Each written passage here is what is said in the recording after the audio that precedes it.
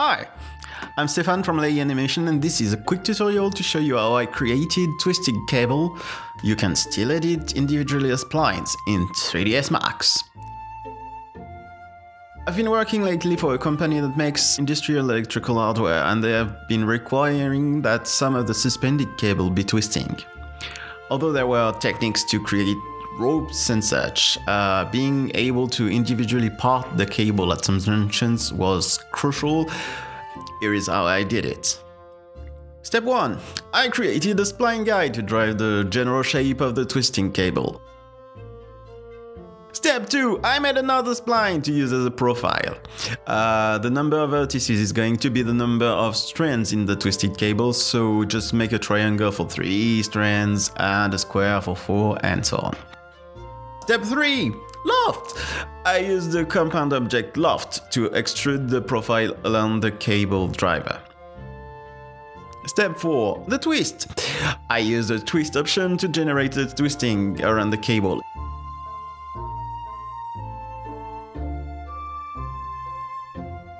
Important note at that stage is to be aware that the divisions on the modifier will affect the quality of your twisting. Having not enough segments will confuse the twisting and you will get poor results. Having too many may slow the final spline down quite a bit, but it might be better than the twisting failing, so yeah. Also, be mindful of the scale factor as it will influence the distance between the strands of the twisting spline at the end. Step 5.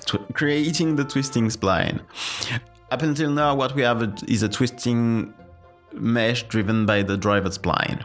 I add an edit poly modifier on top and then I select an edge, double click it, and then the whole edge is selected. And I repeat for every edge by pressing Ctrl and double clicking the other edges along the spline.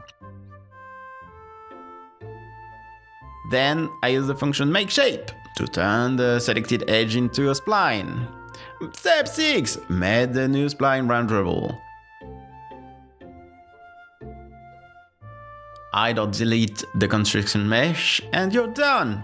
You now have a twisting spline that is editable to your art's content.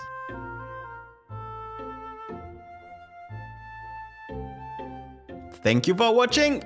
Please leave your questions in the comments.